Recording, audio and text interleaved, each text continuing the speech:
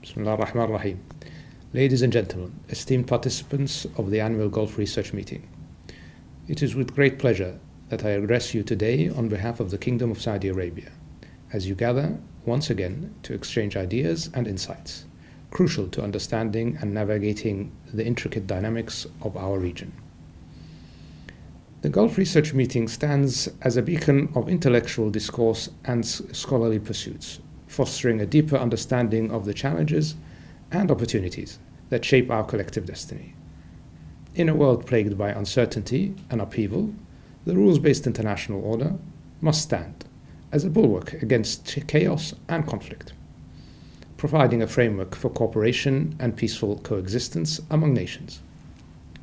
As we witness growing threats to this order, it is imperative that we reaffirm our commitment to upholding the principles of international law, mutual respect, and peaceful resolution of disputes.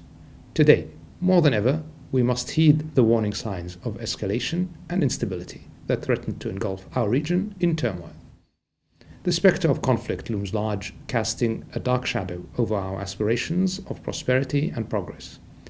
It is incumbent upon us to exercise restraint, wisdom, and foresight in our actions, mindful of the consequences of reckless behavior and brinkmanship.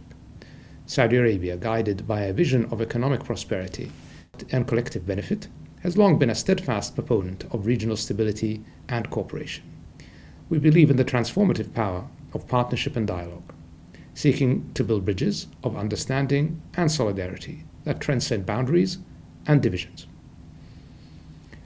Our nation remains committed to fostering an environment conducive to growth, innovation, and prosperity for all people in the region and beyond. Central to our vision for a just and peaceful world is the urgent need to find a pathway to the establishment of a viable and sovereign Palestinian state. The ongoing violence and bloodshed in Gaza serve as a stark reminder of the human cost of conflict and the urgent need for a durable solution that upholds the rights and dignity of all parties involved. We call for an immediate ceasefire and a renewed commitment to dialogue and negotiation, guided by the principles of justice, equality, and mutual respect. As we strive to navigate the complexity of our shared challenges, let us draw inspiration from our collective heritage of wisdom, resilience, and innovation. Let us forge ahead with courage and conviction, guided by the noble ideals of peace, prosperity, and justice for all. In closing, I extend my best wishes for fruitful deliberations and meaningful discussions during this esteemed gathering. May your endeavors in the coming days pave the way for a brighter and more secure future for our region and the world. Thank you.